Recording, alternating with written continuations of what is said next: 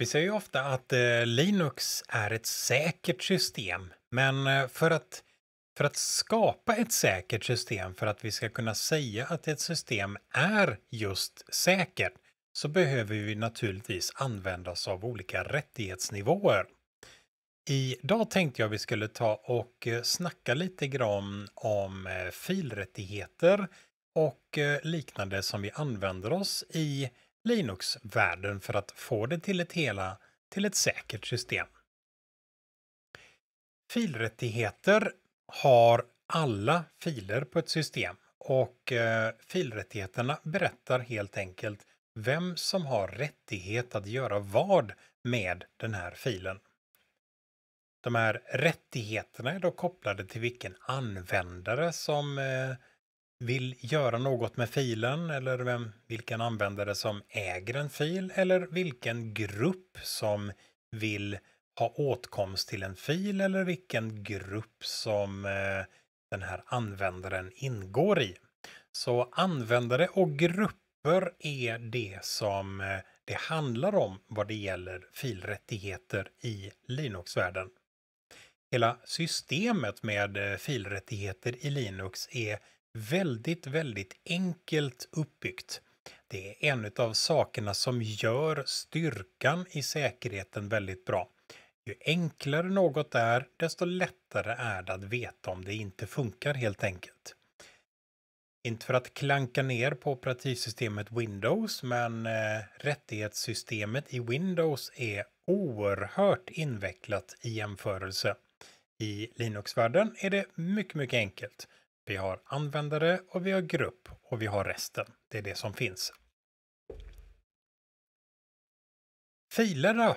För eh, vad är en fil för någonting? Ja, en fil är någonting som jag använder för att lagra data eller lagra program med. Eh, Linux bygger som ni vet på Unix och Unix och Linux är i grund och botten fleranvändarsystem. Linux är gjort för att fungera för flera personer. Varje entitet i ett Linux-system har blivit skapat för att vara just ett fleranvändarsystem. Normalt sett så har varje fil en ägare och normalt sett har ägaren till filen fulla rättigheter till filen. Kanske kan man vilja begränsa rättigheterna så att vi har enbart tillåtelse att läsa i en fil och så vidare.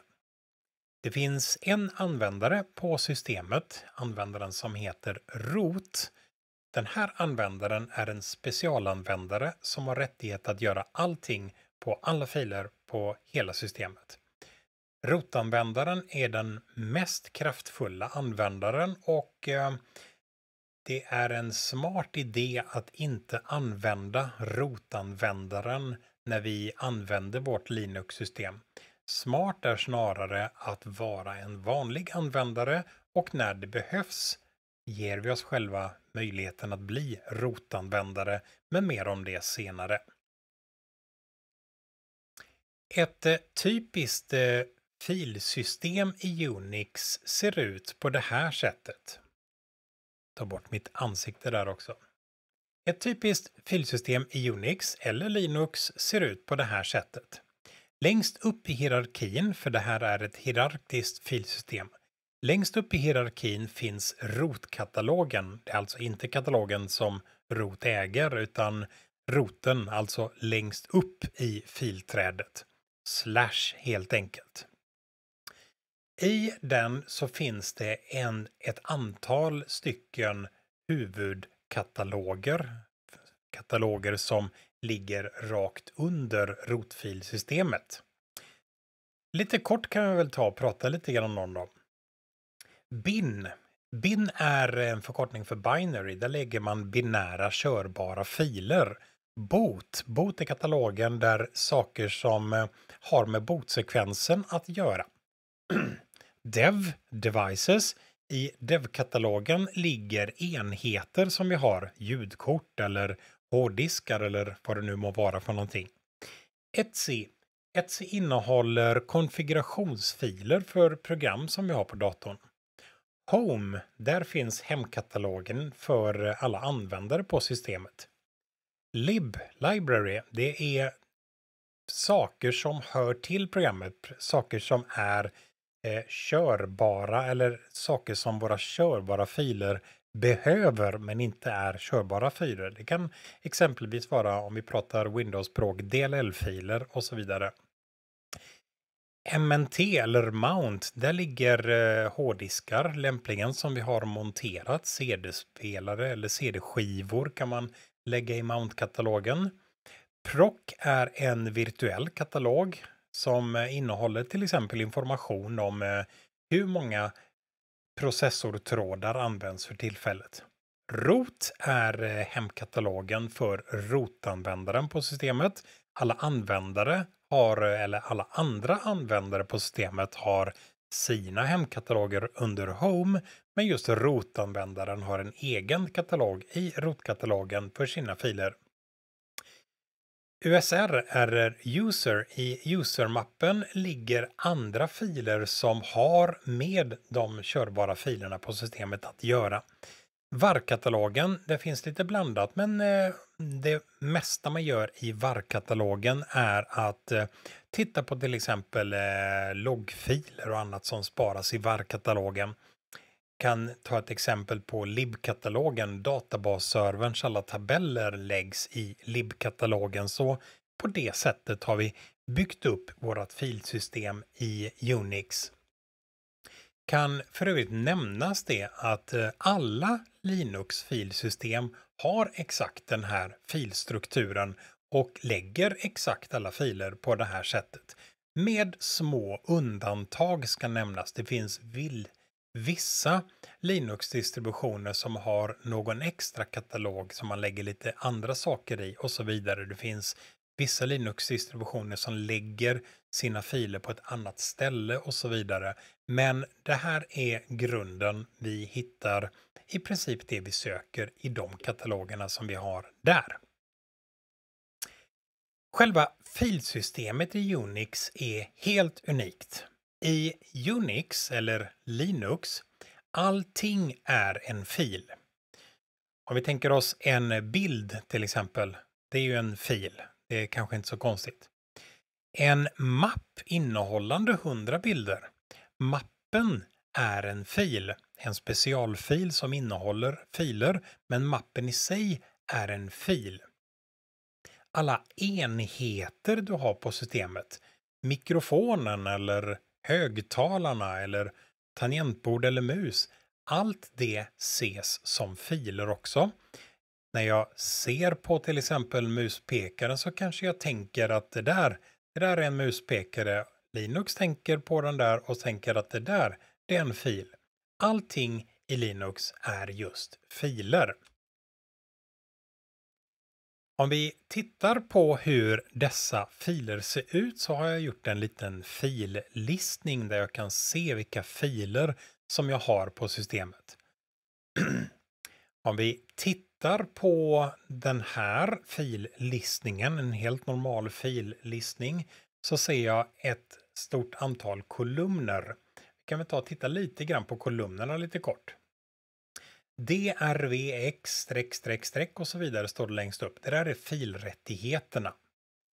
På nästa står det 20. Det är hur många objekt som finns i den här katalogen. Sen står det IMCOH, det är vem är ägare till den här filen. Sen står det users, vem, vilken grupp ingår den här ägaren i. Sen står det 4096, det har att göra med hur stor är filen som den representerar. Sen står det juni 7, ja det är när filen skapades och 1308 är tidpunkten när filen skapades. Allting i Linux är en fil och kan representeras i filsystemet. Vi pratade lite grann om eh, filrättigheter. Om jag ger mig själv rätten till till exempel högtalarna på systemet. Jag har högtalare inkopplade. Om jag ger mig själv läs och skrivrättigheter till högtalare så kan jag höra när det låter i högtalaren. Om jag tar bort rättigheterna för att läsa och skriva till högtalaren så kan jag inte höra när det låter. På det sättet allting representeras som filer i Linux. Det kan vara bra att komma ihåg. Allt är en fil. Om vi tittar lite grann på användarperspektivet eh, på internetserversidan. Ja, eh, det kanske inte är riktigt lika användbart för användaren i det här fallet skulle inte vara personer som trycker på tangentbordet utan snarare personer som sitter på andra sidan av internetsladden och gör någonting.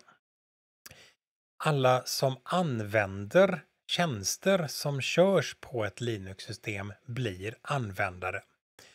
Tjänsterna som körs på ett Linux-system kan köras som en speciell användare. I många fall är det den speciella användaren root som kör tjänsten. Det kan också vara andra specialanvändare som kör. Mailsystemet exempelvis körs normalt sett av personen mail. Webbservern körs av en person som heter www-data och om vi har en FTP-server så körs den som användaren FTP-admin. Så alla olika tjänster som körs, körs av olika användare. Och det finns den, den, i vanligaste fallet så är det användaren root som kör en tjänst.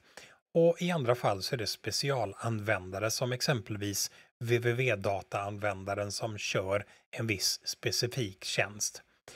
Anledningen till att man vill dela upp det på det här sättet är att eh, just körande av tjänster kan ju behöva läs och skrivrättigheter till, eh, låt oss säga, farliga ställen på filsystemet. För att tillåta det här så vill vi ofta göra en specialanvändare som har just de rättigheterna som krävs för att kunna göra sitt jobb så att säga. Personen som har installerat systemet är normalt sett inte rot utan har en vanlig användarkonto och den här normala vanliga användarkontot är det som vi normalt sett använder när vi hanterar systemet. Tänkte ta en liten eh, bild på hur eh, filsystemet ser ut och är uppbyggt i Linux. Jag har ju sagt sedan tidigare att vi har ägare, vi har grupper och vi har övriga. I rutan längst upp här har jag i kommandoskalet skrivit ls-al phpinfo.php. Om vi tittar på den första raden där, nu är vi i kommandoskalet. IMCOH, det är mitt användarnamn på maskinen. Att-tecknet. Sen kommer ordet webbkurs. Webbkurs är namnet på systemet som jag använder. Det vill säga användaren IMCOH på servern som heter webbkurs. Därefter så kommer det ett kolon och nu är vi inne på vilken fil man är i. Tildetecknet betyder hemkatalogen, alltså IMCOHs hemkatalog. I hemkatalogen finns det en mapp som heter Public HTML. Där är den mappen som jag är i för tillfället. Det där första IMCOH ett webbkurs, det där kommer aldrig att ändra sig såvida jag inte byter dator. Jag behöver aldrig tänka på den där biten eftersom jag vet att eh, jag vet ju vilken dator jag hanterar helt enkelt. Där det står Public HTML å andra sidan, det är ganska bra information. Då får jag reda på vilken mapp är jag i för tillfället. Vi spolar tillbaka och eh, kommer till själva kommandot. Det jag skriver är ls-alpopinfo.pop ls var kommandot för att lista filer. Minus al, nu har jag gett eh, kommandot ls två stycken flaggor. A betyder att jag vill ha reda på all information om filen och L betyder att jag vill ha en lång listning av filen. Filen som jag vill titta på är popinfo.pop Så på rad nummer två här så kommer informationen om den här filen ut. Streck RV, streck R och så en himla massa streck. Vad betyder det här då? Ägaren till filen som är IMCOH, vi kan se det i kolumnen att det är kolumnen IMCOH eller ägaren är IMCOH. Ägaren IMCH ingår i gruppen Users. Ägarens rättigheter är de tre första sakerna där. Sudda bort mentalt det här första strecket så börja och tänka att första tripletten där, att det står RV-streck bara. RV-streck betyder att ägaren får lov att read och write och övriga får, eller och inte göra något mer så att säga. Nästa sektion med tre stycken pluppar där det står R-streck betyder att ägaren ingår i gruppen users och gruppen får lov att reada den här filen. De tre sista sakerna där det står streck, streck, streck betyder att övriga inte har några rättigheter till filen. Det här kan vara lite knepigt att få huvudet runt, men vi kommer att spendera ganska mycket tid med att förklara just den här delen idag. Om vi börjar med att titta på hela konceptet med grupp så en grupp är helt enkelt en samling med användare alla användare som är med i en grupp kan ha större rättigheter till någonting än några andra har. Exempelvis, eh, låt oss säga att vi har en server och eh, vi har massa personer som jobbar på ekonomi, massa personer som jobbar på administration och massa personer som jobbar, jobbar på utveckling. Vi kan göra en mapp som ger gruppen gruppen utvecklare fulla rättigheter till mappen. Vi kan skapa en grupp ekonomi som ger ekonomipersonerna fulla rättigheter till den mappen och så vidare.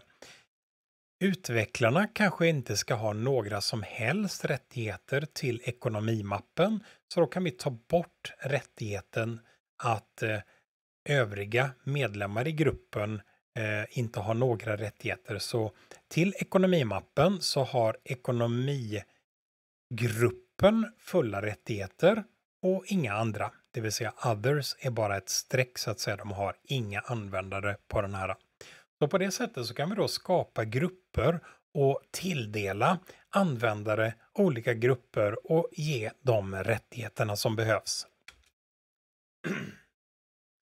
Sen så finns det ju lite specifika rättigheter som man kan ge saker och ting. De här rättigheterna kan vi antingen se som siffror eller som bokstäver. Vi säger ju RVX exempelvis. Det här motsvaras av siffror också. Rättigheterna är Read, Write och Execute. Läsa, skriva och köra. RVX.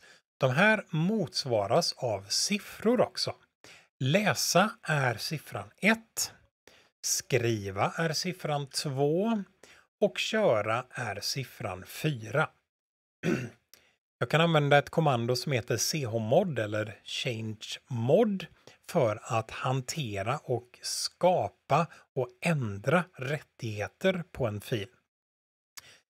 Låt oss säga att jag säger exempelvis chmod u-r hemlig.txt. Okej, u, vad är det? U är user. Minustecknet betyder ta bort. R. Read. Hemlig.txt. Det som händer är att eh, för filen hemlig.txt kommer jag att ta bort läsrättigheten för users, det vill säga användare i, alltså tillhörande den gruppen som man är med i får inte lov att läsa filen.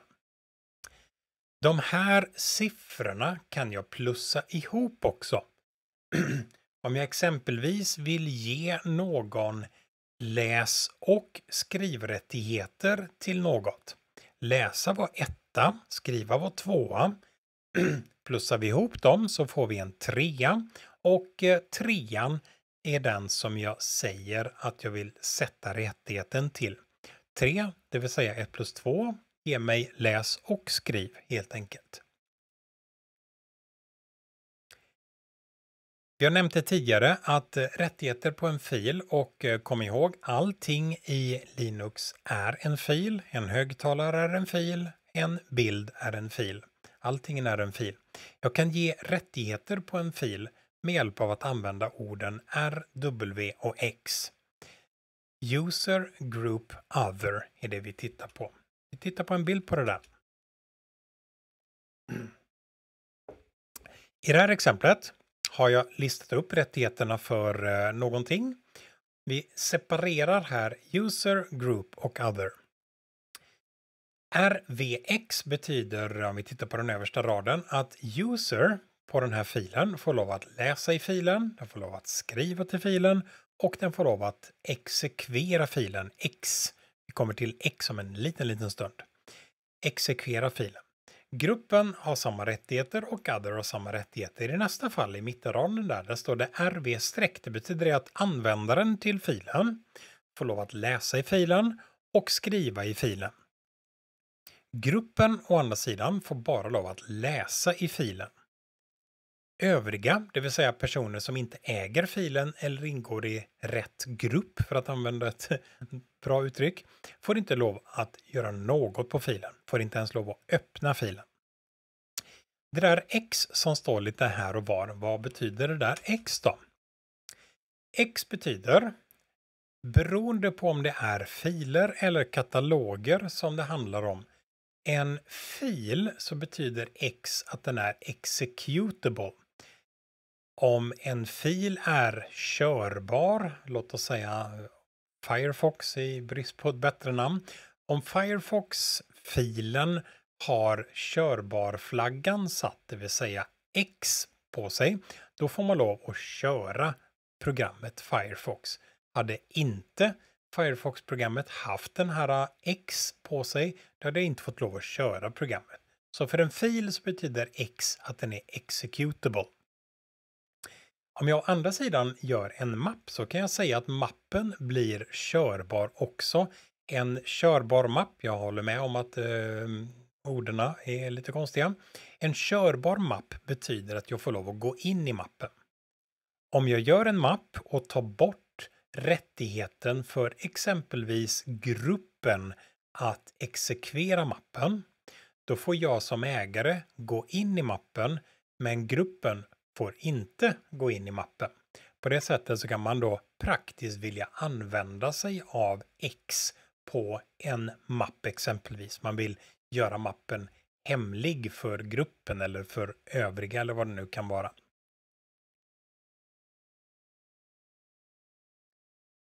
Vi eh, börjar här med att titta på en fil i filsystemet. Om jag skriver ls-l så får jag upp en lång listning av filen och om jag skriver ls-l hemlig.txt så får jag upp rättigheterna som gäller för just filen hemlig.txt. just hemlig.txt är väl lite sisådär hemlig om vi tänker efter. Vad är det för rättigheter som gäller på den här filen för ägaren, för gruppen och för övriga? Om vi har tänkt klart så har vi nog kanske kommit fram till att ägaren till gruppen har read write. Gruppen har read och execute. Och övriga har read. Execute på en vanlig fil som är av typen text. Ja, det är ytterst märkligt. Jag vet inte riktigt varför. Jag tror att någon har bara skrivit någonting för att dra ett exempel. Jag vet inte varför man skulle vilja ha executables-flaggan satt för gruppen på en textfil. Det låter lite märkligt. Eh, I det här exemplet så har jag inte skrivit ut alla klockslag och datum och grejer. Det hade blivit lite långt. Vi kan, som vi har nämnt lite kort tidigare, ändra rättigheter för en fil. För att ändra filens rättigheter så använder vi kommandot changemod eller chmod. Om vi undrar hur kommandot chmod fungerar så skriver vi vad då på tangentbordet?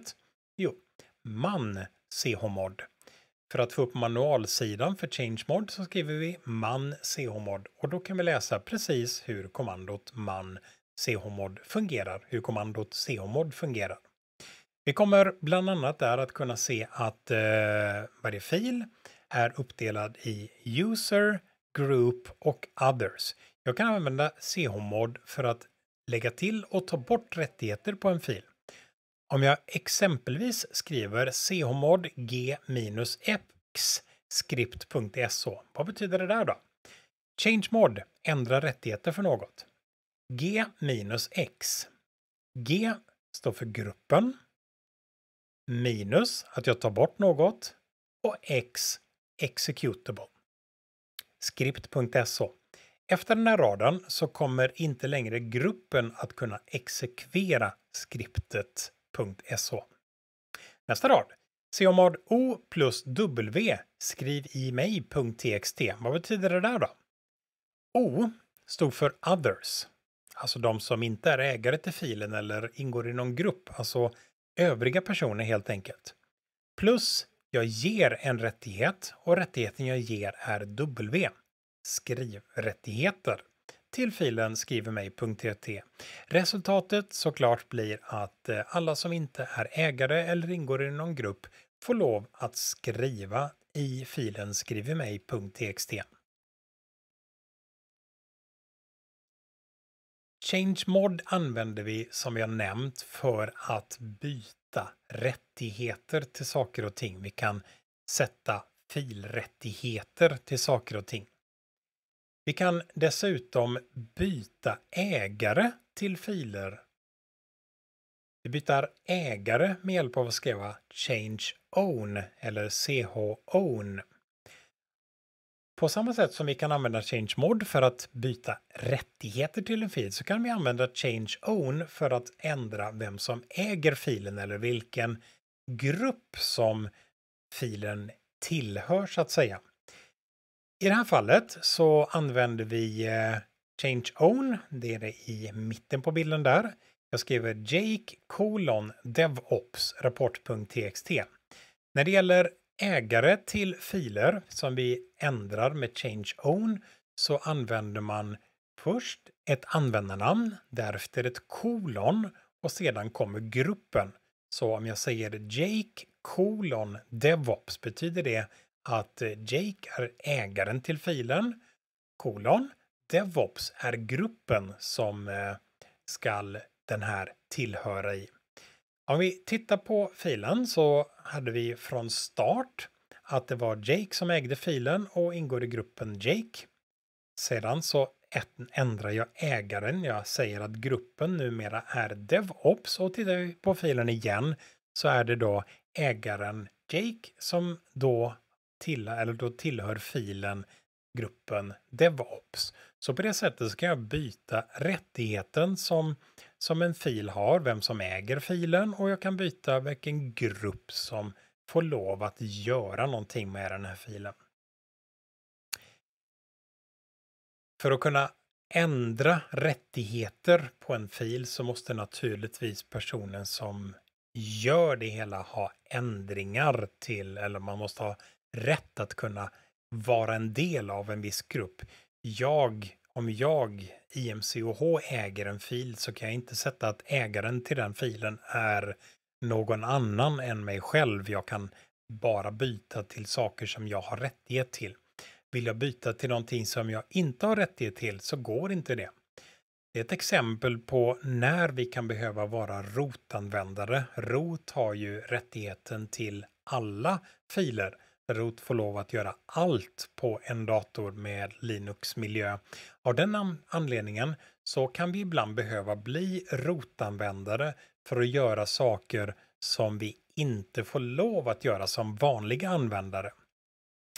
Att eh, däremot använda systemet som en rotanvändare för jämnan, det är en motorväg till att saker och ting blir fel. Så gör inte det. Använd alltid systemet som en normal användare och de gångerna du verkligen måste, då kan du bli rot. Bli rot, ja, det kan man bli på ett par olika sätt. Antingen så kan man använda kommandot su, switch user, för att bli rot, eller så finns det ett annat sätt som heter sudo, switch user do, Sudo är ett program som temporärt under tiden som kommandot skrivs låter dig bli en rotanvändare. Om jag vill lista filer till exempel i dev-katalogen som en vanlig användare inte har rättighet till eller var-katalogen som jag kanske inte har rättighet till. Om jag vill lista innehållet i den mappen så skriver jag sudo ls och så mappen jag inte får lov att komma åt. På det sättet så körs det här kommandot som en rotanvändare. Naturligtvis måste jag använda ett eh, lösenord för att det där ska fungera också. Men på det sättet så kan jag helt enkelt bli en rotanvändare under tiden som jag skriver ett visst kommando. För att det ska funka så måste användaren vara listad i en fil som heter sudo-rs i Etsy-katalogen för att ge tillåtelse att få lov att bli rot när man väl behöver så att säga. Tänkte vi skulle ta och eh, kika lite grann mer på olika saker som vi kan göra med eh, filer i Linux. Vi ska kika lite grann på olika rättigheter som vi kan tänka oss ha till filer. Vi ska även titta på hur vi kan använda sudo som för övrigt är eh, i, I vissa Linux-distributioner eh, så används inte rotanvändaren överhuvudtaget. Vi har bara en sudoanvändare. Eh, ett exempel på ett sådant system är Ubuntu som per definition, per default så att säga, inte har någon rotanvändare. Om vi vill ha en rotanvändare så får vi manuellt så att säga skapa en rotanvändare. Den finns inte från start. I Debian så finns det en rotanvändare, men vi uppmanas kraftigt till att använda den vanliga användaren som vi skapade när man installerar Debian. Men eh, nu ska vi köra lite mer filhantering.